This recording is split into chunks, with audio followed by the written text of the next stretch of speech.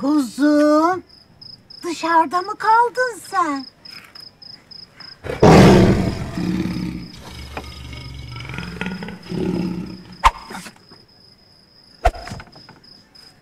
Gel bize. Alo. Hamdi Bey. Kaç veriyorsun abi? Olur olur. Tamam. Tamam. Ay ben bunu yerim ayol.